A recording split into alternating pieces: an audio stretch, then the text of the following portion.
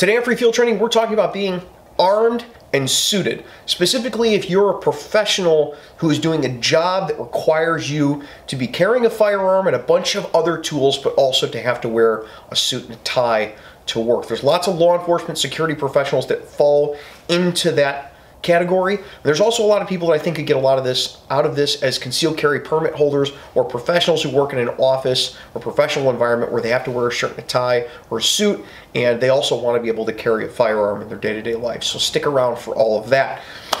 I would also like to thank Tactically Suited, who's the sponsor for this video. They gave me a bunch of stuff to use as examples for this video. I've used Tactically Suited's products for a couple of years now. I really like their tactical dress pants, more on the stuff that they have coming up in the future. If you want links to any of the stuff that I'm using in this video, links are gonna be down below in the description. So there's two basic routes that you can go with carrying a firearm and wearing a suit as far as the suit and the suit jacket, your pants and your shoes and all of that goes. Uh, the first is to do separates. And what separates is, is you go to your, your Kohl's or your J.C. Penney or whatever, and you get a black suit normally, because they're going to be like either black or dark blue suits. And in the type of work that we're talking about doing, most people go with a black suit because, you know, black goes with everything. And we're cops and security guards. We love black stuff all the tactical black gear. So you go get a black suit and you buy, if you're gonna wear a firearm inside the waistband, you buy the suit pants a little large and then you buy the jacket a little large. And this is the cheap way to get in. It's what a lot of people do is they'll buy a cheap suit to wear to work or they'll buy several cheap suits to wear to work and they'll take them all to a tailor with the equipment that they're gonna wear and they'll have the tailor change the suit in order to fit them. So when you do that, if you're going to go that route, what you want to do is buy everything a bit larger than normal unless you wear your pistol outside the waistband. In which case you want to buy the pants the normal size and buy the jacket one size larger. Not necessarily longer, but larger. So if you're a 38 inch shoulders, you want to want a 39 or a 40 inch shoulder, maybe even a 40 or 41 or 42 inch shoulder. You want a specific, just a larger coat so that way you can more easily conceal the stuff that's in it. Now, the other route is to go and buy a bespoke suit, so a suit designed specifically for you. And this you do it in the reverse. Uh, you contact the company that is going to produce the suit. They'll send you normally a fit sheet and you take that fit sheet to your tailor and the tailor measures you and then the company makes the suit to those specifications. I've done this both ways. Uh, for many years, especially when I first started, I didn't have a lot of money and I bought a suit from J.C. Penney and I bought, you know, the suit jacket a little large and I brought it to my tailor and I had it tailored so that way I could wear it with a firearm and it wouldn't look too goofy. Uh, the problem with this is very often you get weird bulges or you get seams that don't seem right. Uh, if you don't have a really, really good tailor, very often you end up with problems with it. And the issue with that is you buy this suit, you spend maybe $300, $350 on it. By the time you're all done, per suit jacket and pair of pants, and then if one of them gets messed up because it wasn't tailored right or doesn't look right, then you're out all of that money. Uh, the flip side of that is to go to a company that makes suits and get a fit sheet, have the suit specifically made to that fit sheet. Now you can do that with a lot of companies, but most of them don't specifically tailor to people who are carrying a firearm. So what you'll do is you'll go to your tailor, you get the fit sheet, and then you just add a little bit to the waistline so it looks to the suit company that you're a little fatter. This can work. Now what Tactically Suited specializes in is suits and pants and vests that are designed for people who are going to be carrying a firearm every day. So instead of having to buy something and fit it to your specifications or have the specifications fit to what you're trying to do, you send pictures of them, of you wearing the stuff that you're gonna normally, the stuff you're normally carrying at work, front, back, and sides. You go to a tailor, you have yourself measured, and they make the, the suit to fit your specifications. That's the suit that I'm wearing right now for this video. Uh, unlike going to J.C. Penney, the other things it gives you is a significantly better suit. You can get a good wool dress coat, good wool pants. You can get it set up either for uh, winter wear of the suit or summer wear of the suit. There's a lot of pockets on the interior that allows you to keep equipment. And also, it's designed specifically around the firearm by people by tailors who also carry firearms for a living, who understand what it is that you're going to be trying to do with the suit, and they can see in front of them, oh, this is how he's carrying the gun, that's the position he carries it in, and that's why I need to bulge this out a little this way, cut this in a little bit that way. I'm really happy with the results. Uh, surprisingly, this doesn't cost significantly more in their base model suits than going and getting that J.C. Penney suit. So if you have 100 or 200 extra dollars per set, so per jacket and pants to get a suit, instead of spending that money on a tailor and maybe having to mess it up, it's a much better option to go with a bespoke suit company like Tactically Suited and have the suit made for you so that way you know what you're getting. Uh, the, the further issue with it is that when you buy a coat from JCPenney and you have it altered, there's no warranty on that. No one's going to fix it for you if it doesn't come out right. And that's a big thing about Tactically Suited. That's why I've always liked their pants and why I'm very happy with the suit coat. These also come lined significantly better than what you would ever expect from JCPenney. The, the lining is fantastic on the inside, lots of pockets inside, pass-throughs, pen pockets, pockets on both sides of the jacket instead of just one, and actual functional pockets. Functional pockets on the outside of the suit where you can stash stuff in a hurry if you have to.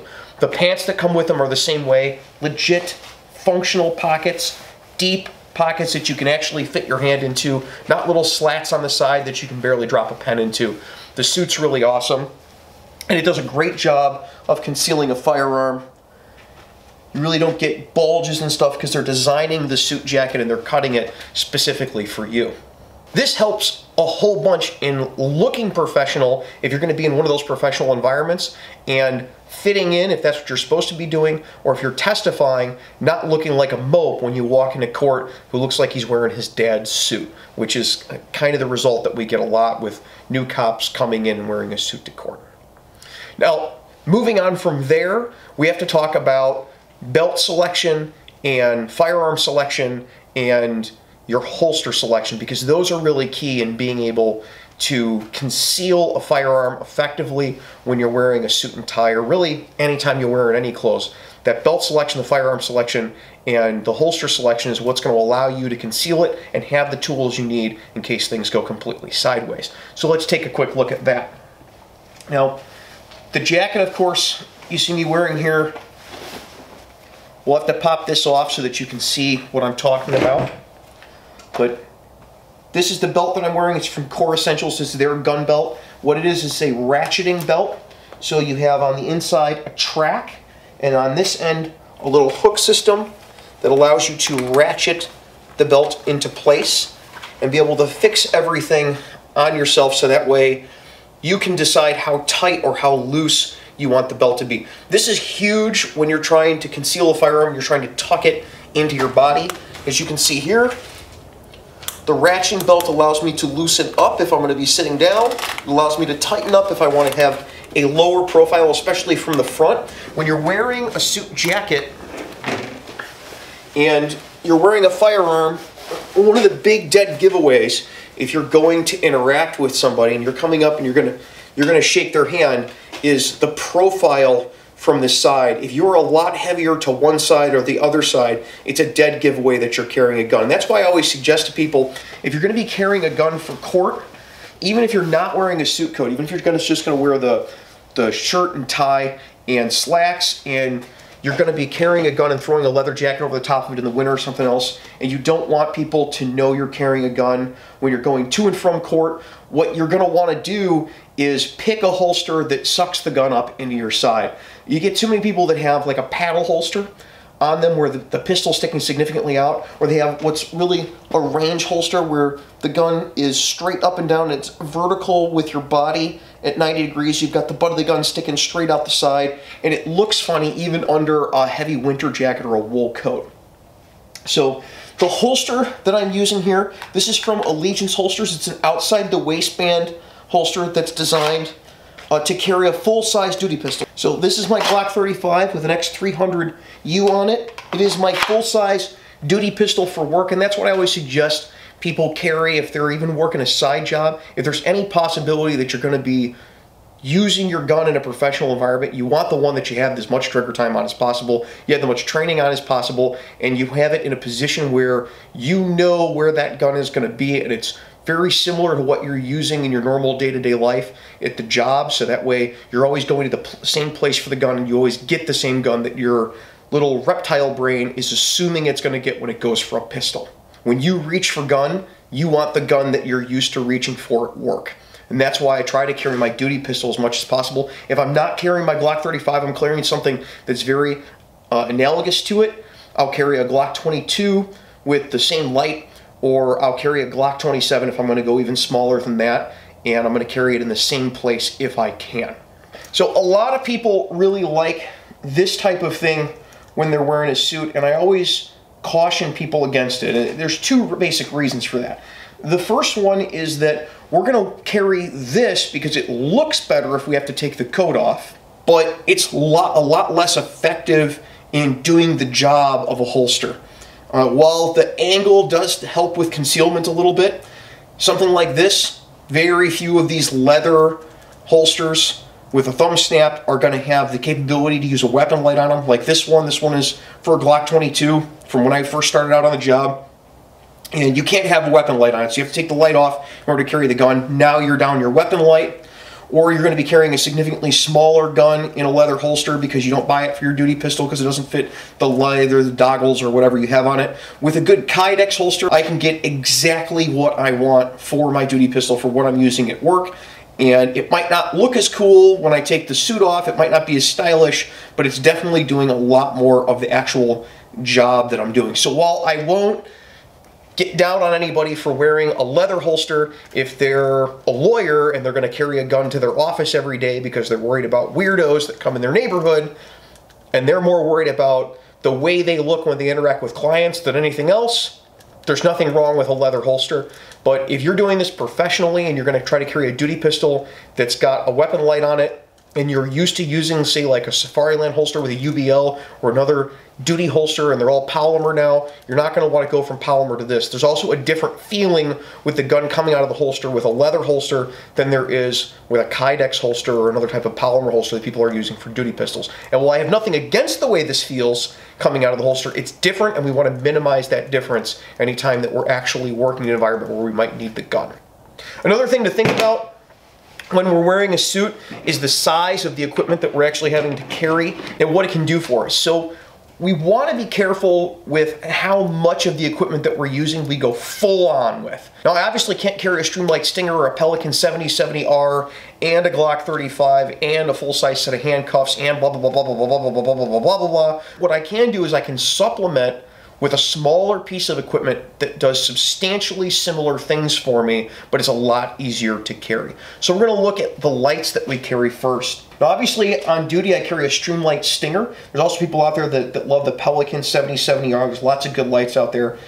What I found is that these little single AA and single CR123 flashlights work a lot better when you're trying to dress up. Now there's obviously other brands of these. These are just the two that I find myself using most as backup lights. And a backup light is generally what I carry as a handheld light when I'm wearing a suit. Now if I'm going to be wearing a suit, it's not normally going to be in an environment where I'm going to come into things that are dark a lot of the time. I'm not wearing a suit in a warehouse where the power's out very much. I'm not wearing a suit out on a street corner generally.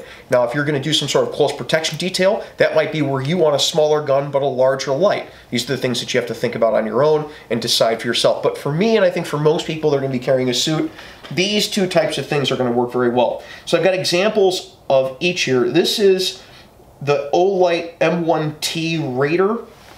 It's an example of a CR123, uh, single CR123 flashlight. And what I like about these is that CR123s, I keep them in my bag in my car, so I know I always have them.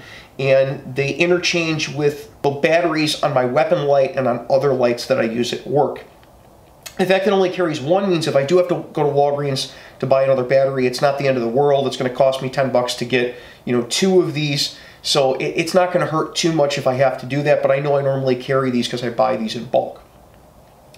What One thing you have to think about with a flashlight is the operation of it. There's lots of lights out there, and for EDC lights, a lot of people really like lights that have a, a head switch that allows you to cycle through a bunch of different functions. I always suggest people don't do that. You want a light that's just large enough to stick out of both ends, the palm of your hand. Now that's going to depend on your hand so that you can use it as kind of an improvised Kubotan type device if you need to get somebody off of you in a hurry. That's the type of thing that you're trained up to do. But you also want to have a clip on it so that you can just clip it to pants and you don't need another pouch hanging off your belt. That's going to help you with slimming down the look of that waistline when you're meeting a client or when people are seeing you with a client. And you're also going to want a very simple operation. So with your little handheld flashlights and with most backup lights, you're going to want something that has both a momentary on, so you push and it doesn't click, but the light comes on, and also a solid click on mode. And that's pretty much it. If it's got maybe two modes where you can you can get a lower setting, a higher setting, and then a lower setting, that's all right. As long as that high setting comes on first, then you have to purposely go find that low setting. But what you don't want is one where you have a light head and you push a button and it comes on low and you hold it and it ramps up to high. That's not something that's going to be particularly useful in a dynamic environment and that's really what we're worried about using this type of light for. This is another example of a light that I use for this purpose and I've used for backup light for many years. And this is uh, a ThruNite 1A V3 I'll put obviously links to all these down below in case you're interested. This is a single double A battery flashlight, which means it's really easy to find batteries for this, uh, especially in an urban environment. Obviously, that's, you know, I'm a cop in around Chicago, so urban environment is what we're talking about most of the time for me. I can normally find, beg, borrow, steal, or scrounge a double A battery pretty much everywhere. Uh, the advantage of this is that these are thinner, which makes them easier to fit in your pockets, especially if you gained some weight over the last couple of months and now your suit doesn't fit as well or your pants don't fit as well or after the holidays here. Uh, the same things apply. You're going to want a, po a pocket clip so you can just attach it to your pocket somewhere, to one of the pockets inside the suit, and be able to get it out in a relative hurry. You're going to want to make sure that that clip holds enough of the light out of the top of the pocket where when you have this in a pocket, you can easily withdraw it and you're not having to dig down into the pocket and get the light out. And obviously this one leaves you a good solid inch on the end of the light and this one leaves you a little bit of space. A little deeper carry, but at least a little bit of space to be able to, to grab hold of that light head and get it out and get it in your hand and ready to go. Moving on from lights, something that a lot of people don't think about as being, you know, a tactical requirement is shoes. And while you don't have to spend a significant amount of money on shoes, you don't have to spend four or five hundred dollars. You don't have to go get Allen Edmonds or anything in order to get good shoes to use for work. Uh, when you're wearing a suit and a tie, there's things you have to think about that dress shoes don't always apply perfectly to. One is that if you're in a professional environment, you, you need to look the part. But if you're working security or your law enforcement professional environment, how well these shoes work is really more important. I generally don't like, you know, kind of square-toed shoes or stitching on the top of the shoe, but I'll tell you something. These shoes are really light and they look the part and they have lots of traction. And that's really what's important with a shoe if you're going to be wearing it with a suit and you're going to be doing some sort of law enforcement or security work. It's important that shoes be comfortable on your feet, so you're going to want to make sure you have a good cushion sole. I like to have a gel insert into most of the dress shoes that I wear because my feet and dress shoes don't get along really well anymore, and probably never really did. Uh, you want a, a, good lace-up shoe so you can keep it nice and tight on your foot. You're not going to want a loafer or something that you're just sliding your foot into. And although it's okay to have this false Goodyear welt all the way around, what you want to look for is a shoe with lots of traction, especially traction for wet environments in an urban setting, especially inside of office buildings or courthouses, you get lots of tile floors, concrete floors. If they get wet, you want to make sure you're going to have traction on that wet surface. Obviously, if you're a detective, you're going to want larger lugs if you're going to be out in the field, you're going to be out interviewing people, but you can also get slip-on rubber rubber covers for dress shoes that are more applicable for them, especially in the wintertime. But the type of tread that you see here, what I really like about these is that there's tread at the nose of the shoe and there's tread at the back of the shoe. So when you're on a tile floor and you put your heel down, what's hitting is tread in the back, not one sharp piece of rubber. So you're getting, the water is getting displaced by the sipes in the tread of the shoe, and that's pushing out the water from the outside and giving you traction even on wet floors. It's one of its little secret sauce item that people don't talk about, but I think is really important, and people underappreciate when they talk about dress shoes. Now there's ancillary stuff to all of this that you may or may not be required to carry, things like a radio. Uh, radios, our big problem is that they're not exactly designed to conceal. This is the old HT1000 from me at work. This is the one that I carry at court most. I take the shoulder mic off of it and carry this around. And what you're going to find with radios is that there's three ways basically to carry them. Uh, one is if you're going to be standing and for concealment, you generally want to put it at your back.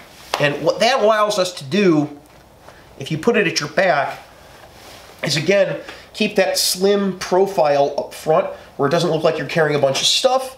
And as long as you leave your suit jacket open, you don't have any weird bulges in the back because your suit generally flops out a little bit in the back. That's great if you're standing. The problem is if you're sitting, let's say you're going to sit in court waiting for somebody or you're going to be in a car, let's say you're doing some sort of dignitary protection detail, you don't want to be sitting on your radio in the car. That is really, really going to hurt. So the other way to do it is to put it on your side, counter to the gun.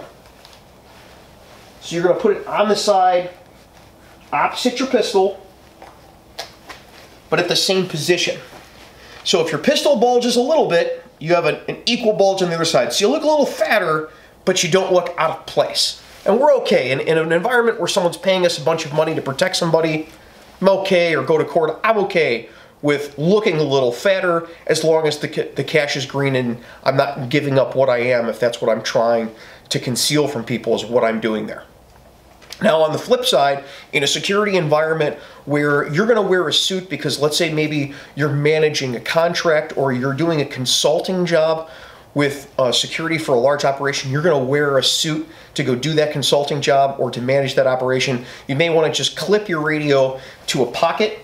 Uh, two things this does is one, it's a lot more comfortable to just clip a radio to a pocket. It's easier to access and then you look like you work there. And that does help sometimes, especially with a consulting gig where you might have a visitor pass, but if you're carrying a radio around, it looks like you're, you're actually there doing work. You're not just, you know, visiting Aunt Betty who works on the 15th floor. As far as carrying a badge, I know a lot of dignitary protection people don't even bother carrying a badge, especially in the private industry. For law enforcement, very often we're required to carry a badge, and what a lot of guys will do is they'll clip their badge on their belt in front of their pistol. And while this is useful if you're wearing a shirt and a tie and a pair of dress pants, because it keeps it visible there and you don't want people freaking out that you have a gun. Uh, if you're wearing a suit, oftentimes and you need to stay concealed, it's better not to put it there because any flash of the coat open is unlikely to show a pistol. But if you have a badge stuck in front of it, people will definitely see that bright, shiny metal up front. So my preference for that and what I suggest people try is to make sure that you have a suit that's got a large enough pocket where you can put your badge holder in a suit pocket. So if something kicks off or you see something starting to kick off or you're going to get involved in a situation uh, when you're dressed nicely, you can pull your badge holder out, pull out the chain, and throw that puppy around your neck, and now you're fairly well identified, at least from the front to people. Another option, again, if you're working a consultancy job or you're working a security job where you want people to know your security, but you have to be well dressed because of the type of work that you're talking about. You can get lanyards, uh, custom lanyards made up, or you can get stock lanyards from most uniform supplies that are just a black or a yellow lanyard that either says police or security up or around it. I always prefer to have one that's actually from the company that I'm representing if I'm representing a company. If not, I'll just wear one that says the police or it'll just say the department's name on it so people know it's XYZ Police Department. Oh, I know exactly what that guy's here for. Another tool that can be really useful on the job is handcuffs. And the problem with wearing handcuffs is that they're heavy, they're difficult to conceal. You can either flip them over your belt, which I know a lot of people do in order to keep your normal Smith & Wesson or Peerless handcuffs with you all the time without having to have a holder that bulges out more and is uncomfortable when you're sitting if you have it around your back. Uh, one option is to have a dual carrier where your spare mag or your pistol also has a handcuff holder in it. Uh, what I prefer to do is use zip cuffs. Uh, these zip cuffs from uh, Mil-Spec Plastics here, They're really light, they're really thin. You can just put them into a suit coat pocket. They pretty much disappear in that pocket. They don't make weird bulges. It doesn't add a lot of weight to what you're doing, and they're very, very easy to deploy should you need them, and they're very easy to put away if you find out later that you don't.